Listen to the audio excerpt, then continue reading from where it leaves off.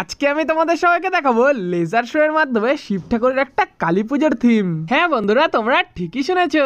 আমরা সবাই তো প্যান্ডেল দেখার জন্য জমি এখানে রেডি হচ্ছিলাম, কিন্তু এই ছোট বিচ্ছুতে কিছুতেই ঘুম থেকে উঠছিল না। আর ওঠাতে গেলাম, উল্টো আমি খেয়ে গেলাম পেদানি ফাইনালি এখন আমরা সবাই দুই বিচ্ছুকে সাথে নিয়ে বেরিয়ে পড়েছি সেই প্যান্ডেলটাকে দেখার জন্য। হাঁটতে হাঁটতে মাঝ রাস্তায় আমার ফিউল ইন্ডিকেটারটা এমটি দেখাচ্ছিল তাই তো ঝটপট করে ফুল ট্যাঙ্ক করে চলে আসলাম প্যান্ডেলের কাছে। আর এই প্যান্ডেলটা হয়েছিল নয়াটিতে, ছ নম্বরের অভিযাত্রী মাঠে। অবশেষে এখন শুরু হয়ে গেছে লেজার শোটা বেশি বকবক করব না মিউজিকের সাথে তোমরা এনজয় করো